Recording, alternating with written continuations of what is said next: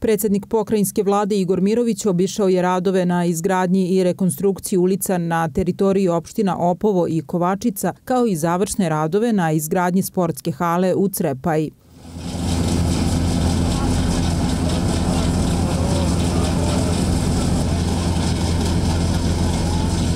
Obišao sam radove i na rehabilitaciji i rekonstrukciji ulica u Kovačici, u Opovu i negde oko 7 km ulica u dužini, dakle od 7 km rekonstruišemo.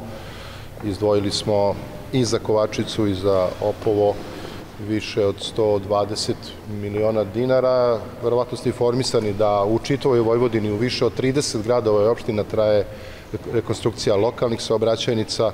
Taj posao se odvija i ovde u opštini Kovačica i u Opovu i zadovoljan sam što sam na terenu video ljude koji će imati kvalitetni asfalt do svojih kuća, zadovoljne izvođače, poštujemo ugovor, poštujemo rokove, od njih tražimo da poslove izvode prema standardu i kvalitetu i u rokovima, ali i obezbeđujemo posao za građevinske firme, pa i ovde za ovu kompaniju koja izvodi radove u Crepaji.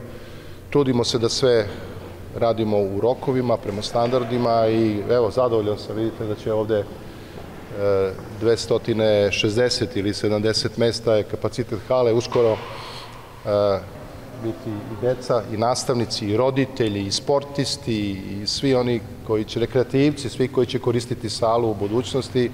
To će značiti manje dece u kladionicama ili makar manje onih starijih, jer u kladionicama je zabranjeno da ulaze deca koja su mlađe od 18 godina. To će značiti više dece u sportu, manje dece pred tabletima, pred telefonima, to će značiti zdraviju decu, zdraviju omladinu, to će motivisati ljude da ostanu ovde jednim delom u Crepa i da se ne sele u velike gradove. To je naša misija koju ispunjavamo kada realizujemo velike i važne poslove u manjim i manje razvijenim sredinama.